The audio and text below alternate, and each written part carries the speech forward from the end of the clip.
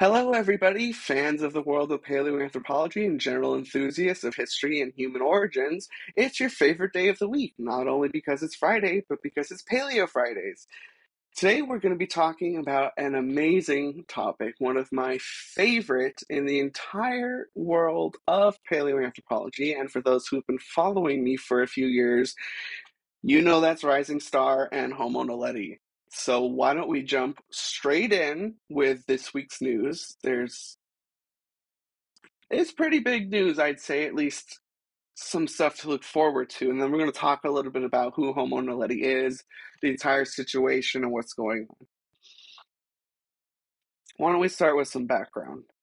So, about a decade ago, in 2013, these two spelunkers, which are cave explorers, named Rick Hunter and Steve Tucker, and they were going through the cave, just having a jolly good time. And when they stumbled upon something that looked kind of interesting under their feet, they were clearly bones, but not being paleontologists or archaeologists, they really didn't know what they were, but they knew they were probably important. So they took pictures of them, they brought them back up, and through a mutual correspondent with Professor Lee Berger, Lee saw these photos and pretty much decided on the spot an excavation needs to happen. And after an interesting post on Facebook that you can look up, it's all over the internet, where Professor Lee Berger was searching for very petite women because to enter this cave in Rising Star Cave, it is one of the tightest squeezes. Some of these squeezes in this cave system are the tightest on Earth. And to explore this cave, you really need to be adept. You need to have archaeological experience, you need to have caving experience, you need to have all these different types of experience and be really at the top of your game. So he put this call out and he got a team and he put them together and they went down. They went into the cave. They retrieved these fossils and they discovered what can only be equivalently called a diamond mine.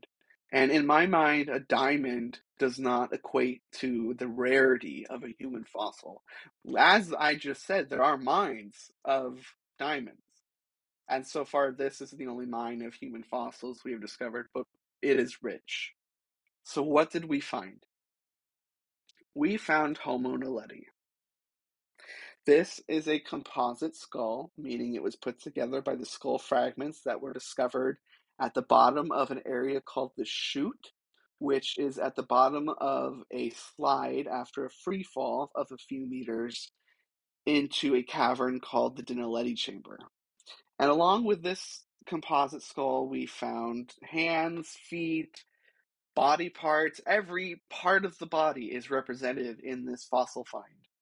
And through the ages, from infants to geriatrics, it's it's all there. And we don't know how they got there besides the fact that nothing washed them in. There's no sign of water erosion. The cave did not collapse, showing a different opening. There's no other openings into the cave besides these extremely tight squeezes. There's no sign of any other hominin activity until modern humans arrived recently. So, how did they get there? Well, the running hypothesis is, of course, that it is a burial site, and we'll get to this later, but let's resume talking about who Homo naledi is. So why don't we get a look at a few different aspects. So this is a Homo naledi foot. As you can see, it's quite small. This is of an adult, I am told, and I'm pretty sure on that.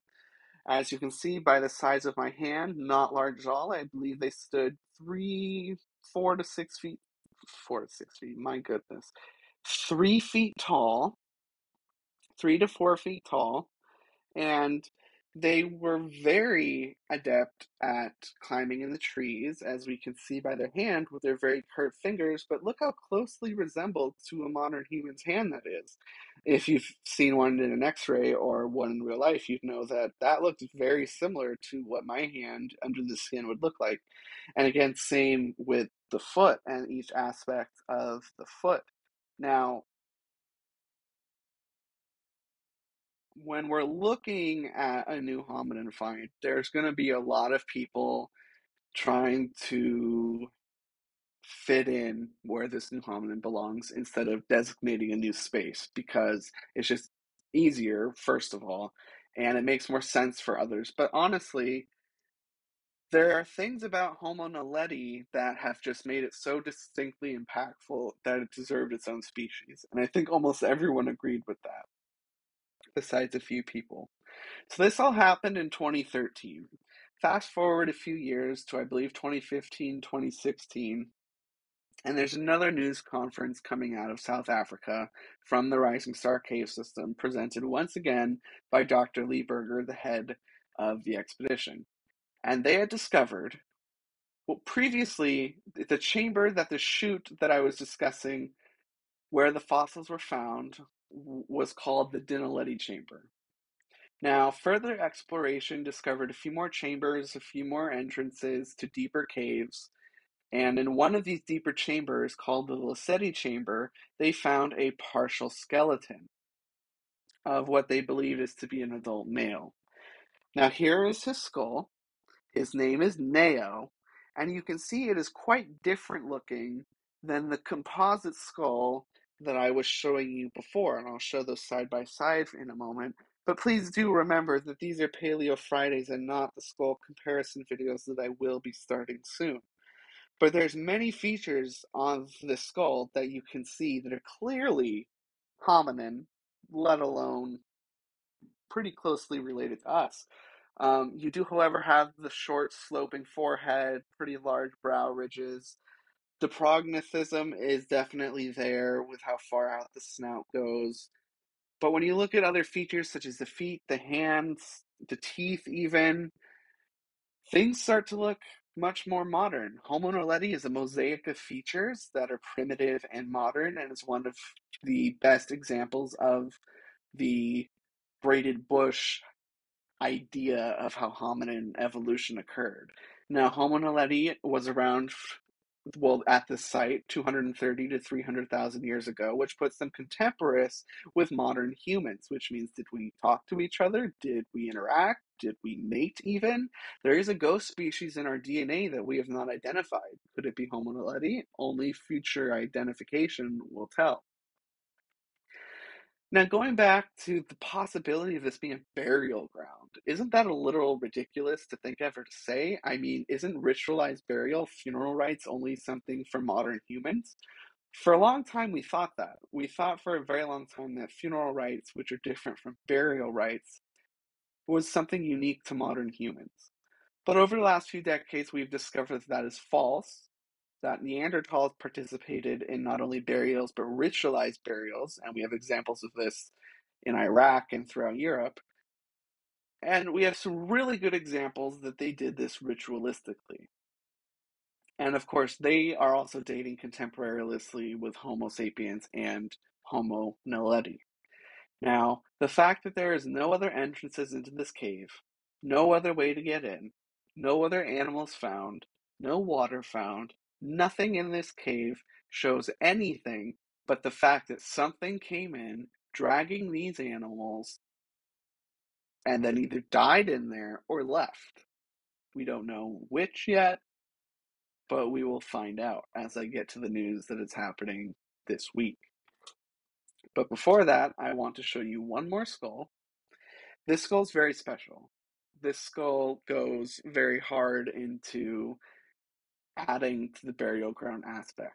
Deeper in the cave, as the cave just keeps going, we found another chamber called the Chaos Chamber. And in this chamber, on a cleft, a small shelf, just like this, was sitting a skull. Now, as you can see, this is the skull of a child. This skull is been named Leti. And as you can see, we can actually even see the adult teeth that have not yet descended from the deciduous teeth. So this individual was about four to six years old, we believe. And it is un- it is remarkable how similar this skull looks to the Taung child and other Australopithecines that are around the same age. It seems that many hominins appear very similar early on in their life and grow and differentiate as they got older, which is something we'll have to do more research on as we continue. So this was an amazing find. How did this baby, this individual, not baby, but adolescent, how did this child get on this shelf? In the minds of many, it could only have been placed there. And I talked to the archaeologist who helped excavate this skull, Becca Peixotto, who was on the show, of course. You can watch our episode. She describes how underneath the skull, there could be more remains that have just kind of dribbled down the side of the shelf. But because it's so hard, because they're coming in vertically from the top to get in, well, until new tools are invented or new techniques, it's going to be very hard to get in and understand what's going on. So for now, Leti is going to be remaining a huge mystery. The child from the right, from the child from the darkness of rising star, as they are named. Of course, we do not know if it is a he or a she or somewhere in between, but that is one of the most significant finds they have found so far. It is the first Homo naledi adolescent skull, and here we have it.